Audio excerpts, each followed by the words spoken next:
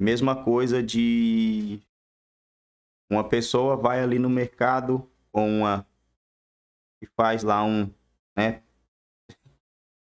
Pega lá todo o dinheiro do mercado emprestado, né, com uma.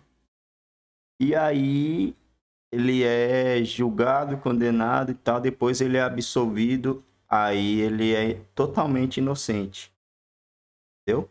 Só que ele foi lá no mercado e pegou o dinheiro de lá emprestado, nunca mais pagou, e ele vira totalmente inocente porque o juiz absolveu ele. Se você falar que ele foi lá no mercado, pegou dinheiro emprestado e não devolveu, você vai ser preso no lugar dele. É aí que tá o bagulho louco dessa PL.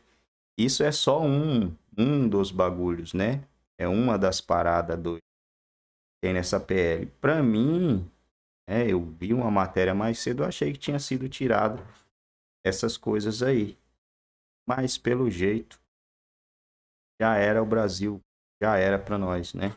Infelizmente, eles estão com a maioria dos votos, né? Não, não vai ser revertido. Acho que eu não acredito na reversão disso daí. É, tinha setenta e poucos deputados que ainda não tinham votado. Na verdade, eu vou ver se eu consigo achar esse placar aqui. Bom, gente, deu uma aumentada, né? Deu uma aumentada aqui. É, Olha, eu confesso para vocês que a esperança é a última que morre, né? Mas eu não consigo ter esperança com isso aqui. Sinceramente, esse placar era para estar tá ganhando, não perdendo. A diferença é de 20 votos.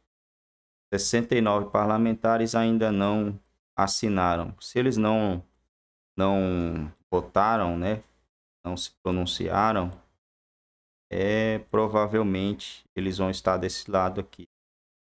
Esses que não votaram provavelmente vão estar desse lado. A mesma coisa que aconteceu na, na votação para o presidente do Senado, né? Muita gente não se pronunciou, mas chegou lá na hora o Pacheco ganhou de lavada do Rogério Marinho devido às pessoas que pronunciaram realmente vai cair desse lado aqui na opinião, tá? Felizmente. Mas é isso aí. Vamos ver o que vai dar isso aí. Vai acontecer. Que a gente vai conseguir ter alguma liberdade. É que a gente espera que mesmo ela aprovada não seja como a gente pensa que será, né?